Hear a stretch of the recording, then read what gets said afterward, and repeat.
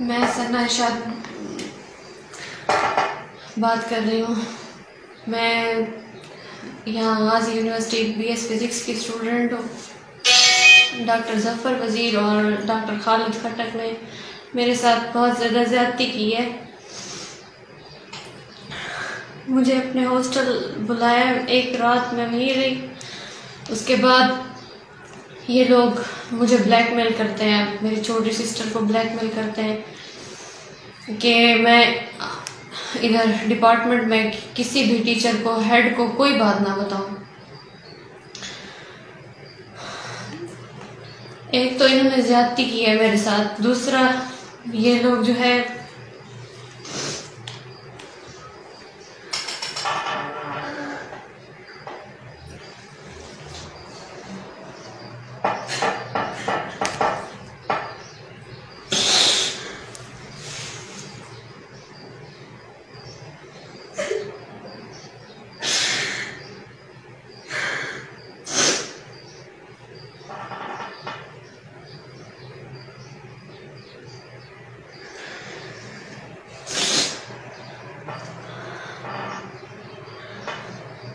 ये लोग अब मुझे और मेरी सिस्टर को दोनों को ब्लैकमेल कर रहे हैं।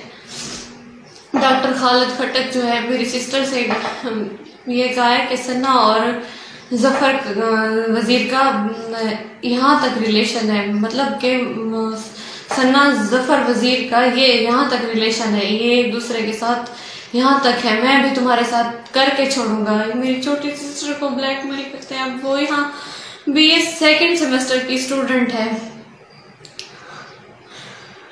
वीसी साहब के पास पहले भी काफ़ी सारी एप्लीकेशंस जा चुकी हैं। और वीसी साहब ने कोई एक्शन नहीं लिया। अब अगर वीसी साहब ने कोई एक्शन ना लिया तो मैं मज़ीद बर्दाश्त नहीं करूँगी। मैं यूनिवर्सिटी में ही खुद को आग लगा दूँगी। क्योंकि मैं अब मज़ीद बर्दाश्त नहीं कर सकती। और ये, इसके ज़िम्मेदार जो है वीसी साहब होंगे फिर।